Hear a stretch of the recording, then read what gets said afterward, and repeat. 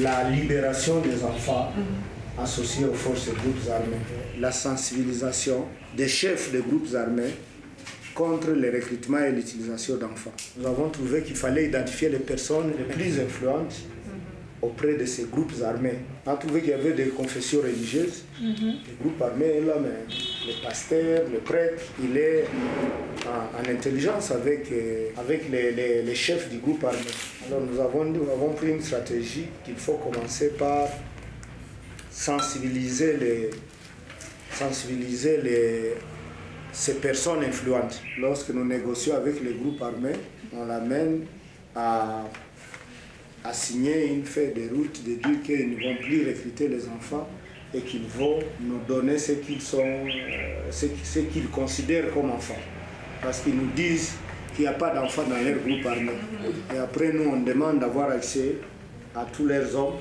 Et c'est nous-mêmes qui allons d'abord par les yeux dire non, toi c'est un présumé enfant, présumé enfant, présumé enfant.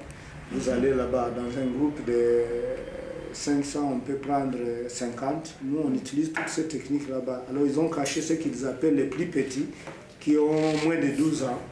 Alors, ils les cachent et ils nous amènent de de 12, de 13 à, à 17 ans. Et, et nous, nous allons dire, il y a ça. C'est là que nous allons faire sortir. Ils vont nous dire, voilà, dans le groupe, il est resté des plus petits qu'on a cachés quand vous êtes arrivés. Et nous, on va retourner encore une fois pour aller dire, voilà, nous avons les noms de ces enfants.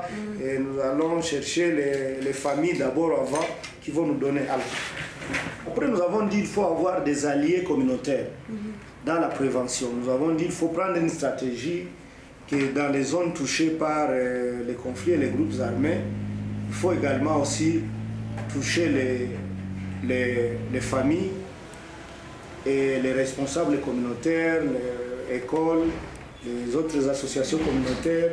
Alors nous avons dit qu'il faut les sensibiliser aussi sur les droits de l'enfant.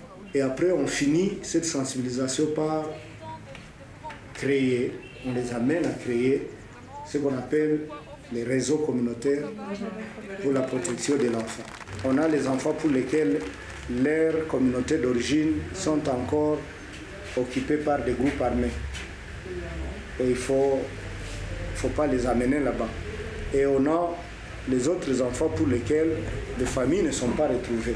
Par exemple, on a les enfants de 8 ans, de 10 ans, qui ont 3 ans, 4 ans, et qui ne savent plus même chez eux c'était où. Donc le groupe armé l'a pris de Goma, euh, du Nord Kivu, l'a amené, et l'enfant peut nous donner une adresse.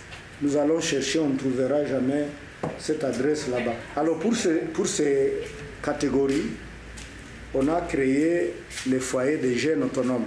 Nous avons des petites maisons ici dans la ville, et même à Goma, où nous plaçons ces enfants parce qu'ils ont dépassé les 3 mois, les 6 mois.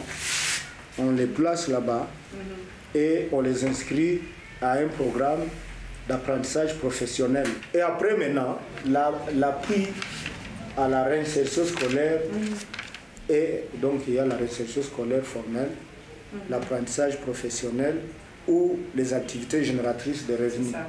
Donc il y a des, des- des- on a des filles mères qui ont des enfants qui disent on ne peut plus aller apprendre pendant trois mois, six mois. Ouais. Donc aidez-nous Ouais. à fabriquer du savon, à vendre des articles, à vendre de la nourriture dans les restaurants. Donc, et ils ne veulent pas.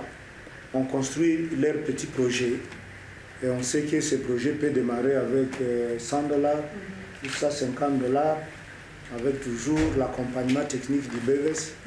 Et ils commencent leur...